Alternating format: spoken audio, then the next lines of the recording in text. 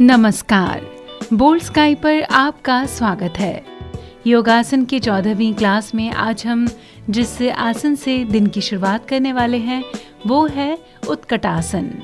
इस आसन को करने के लिए सबसे पहले समतल जगह पर सावधान की मुद्रा में खड़े हो जाएँ। आप अपनी सुविधा अनुसार दोनों पैर साथ में लगाकर या 6 इंच की दूरी पर लगाकर रख सकते हैं। अब अपने दोनों हाथों को कंधों के बराबर में ज़मीन के समांतर रख सामने की ओर रखें। इसके बाद धीरे धीरे सांस लेते हुए घुटनों को मोड़कर इस अवस्था में बैठें जैसे कुर्सी पर बैठते हैं। इस अवस्था में सांस रोककर अपनी क्षमता अनुसार रुकें। अब सांस छोड़ते हुए धीरे धीरे फिर से पहली अवस्था में खड़े हो जाएँ।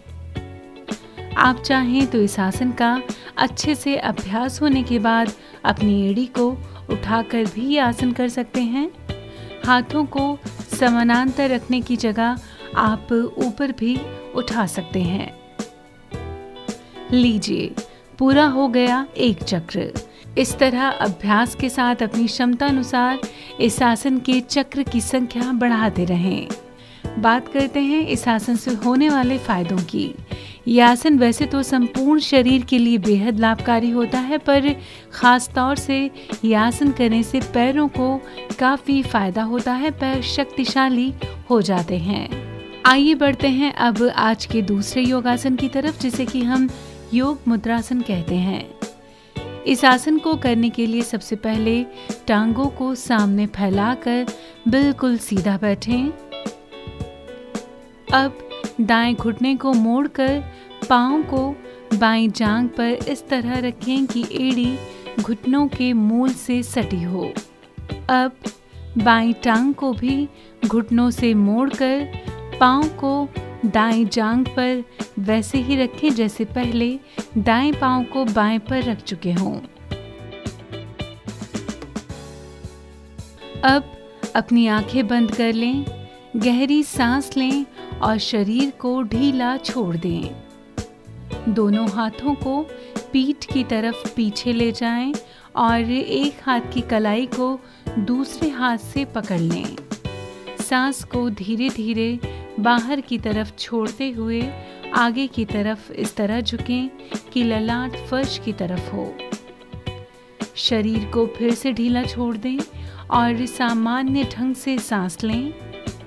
जितनी देर आसानी से संभव हो, इसी मुद्रा में बने रहें इसके बाद सांस को अंदर की ओर खींचते हुए वापस पहले जैसी अवस्था में आ जाएँ। अब इस मुद्रा को पाँव को आपस में अदल बदल कर यानी बाएँ की जगह दाएँ और दाएँ की जगह बाएँ पैर को रख कर इस प्रक्रिया को दोहराएँ। आइए बात करते हैं अब योग मुद्रासन से होने वाले फायदों की यह आसन पेट की मांसपेशियों की मसाज करता है। इससे पेट के विभिन्न हिस्सों में होने वाली छोटी बड़ी बीमारियों का उपचार भी हो जाता है। खास तौर से कब्जियत और अपच के मामले में ये बेहद ही लाभकारी साबित होता है। तो ये थे फ़ायदे योग मुद्रासन के। आइए बढ़ते हैं अब आज के तीसरे आसन की तरफ़, जिसे कि हम सिंहासन के नाम से जानते हैं।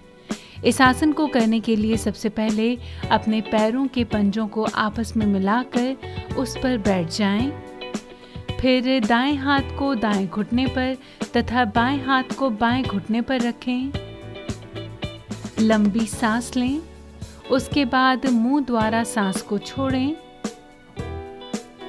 अब गर्दन को सामने की ओर झुकाकर ठोड़ी को गले के नीचे लगाएँ। अगर आपकी गर्दन में दर्द हो तो बिना गर्दन झुकाए भी आप कर सकते हैं।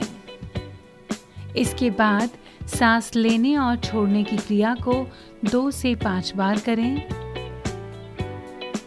दोनों आँखों से इस तरह देखें कि दोनों आँखों की नज़र दोनों बोहों के बीच में हो।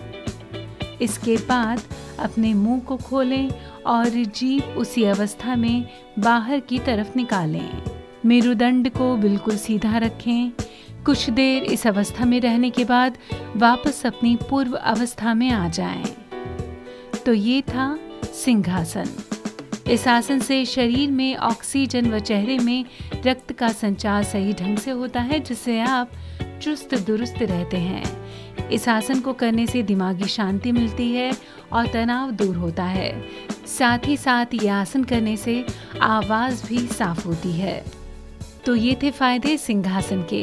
आज योगासन की चौदवी क्लास में हमने जितने भी आसन बताए, आप इन आसन के बारे में कोई भी जानकारी अगर विस्तार से जानना चाहते हैं तो आप हमारे चैनल पर इन आसन की वीडियोस देख सकते हैं। जिसमें हमने इस योगासन से जुड़ी समस्त जानकारी विस्तार से दी है। उम्मीद करते हैं योगासन की चौदहवीं क्लास आपको बेहद पसंद आई होगी। कल फिर मिलेंगे योगासन की पंद्रहवीं क्लास में नए योगासन के साथ। फ़िलहाल बोल्ड स्काई में बस इतना ही।